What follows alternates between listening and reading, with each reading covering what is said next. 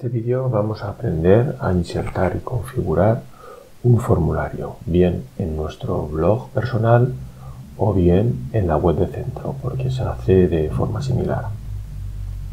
El primer paso será elegir dónde lo vamos a insertar.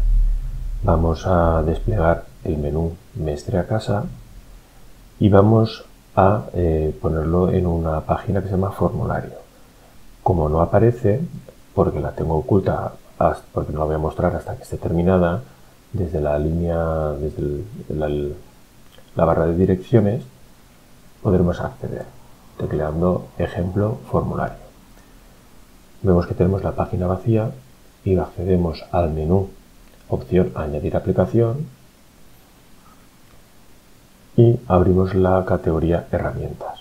Ahí tenemos formulario web. Hacemos clic en añadir Vemos que se ha colocado la primera columna, cerramos la, lista de aplicaciones disponibles y movemos el formulario web al centro de la página. Una vez ya lo tenemos, tenemos que configurarlo. Hacemos clic en la rueda dentada y vemos que ya tenemos eh, una información eh, predefinida, pero que la podemos cambiar a nuestros gustos o necesidades. Vamos a cambiar sugerencias por consultas. En la descripción vamos a cambiarla y vamos a indicar que si quieres ponerte en contacto con el centro, rellena este formulario.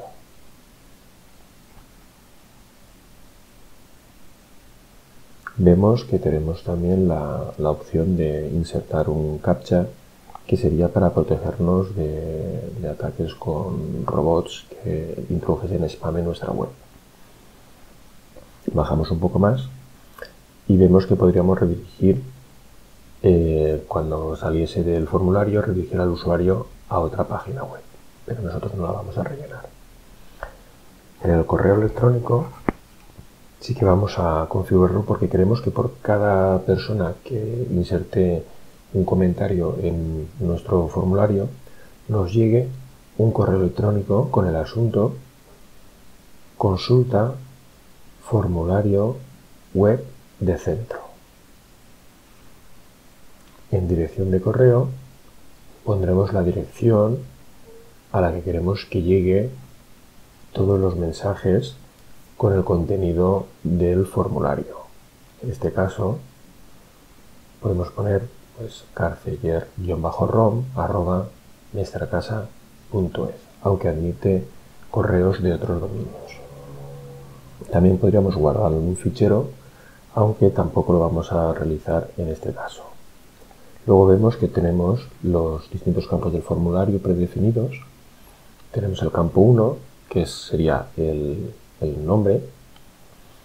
Si quisiéramos profesional, haríamos clic en la casilla para que el usuario pudiese introducirlo o no. Vemos que podríamos elegir entre distintos tipos de, campos.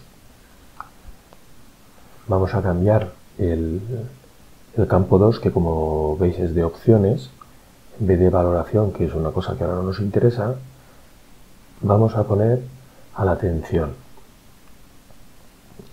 Así dejaremos que el usuario elija a quién va dirigido su, a quién me dirige su consulta. Vamos a aprovechar y vamos a las opciones, vamos a rellenarlas con dirección y con secretaría. Eliminaremos las opciones que no, que no queramos.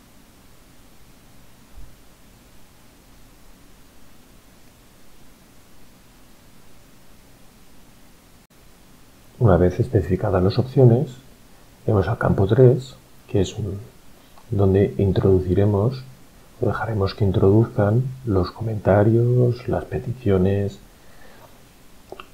que quieran eh, realizar bien a dirección o a secretaría. El tipo de, de, este campo será caja de texto que nos permite introducir más, más información que el tipo texto. Vemos que podemos añadir más campos o eliminarlos. En esta ocasión no vamos a poner ninguno más. Lo que sí que tenemos que tener eh, cuidado es a la hora de definir los campos, porque una vez definidos no podemos cambiar el orden, por lo cual es mejor hacer un, primero un diseño del formulario que queremos y luego ya aplicarlo. Una vez terminamos, apretamos el botón guardar y volvemos a la página índice para ver cómo queda nuestro formulario listo para ser usado. Este es un vídeo de Román Carciller, profesor de informática.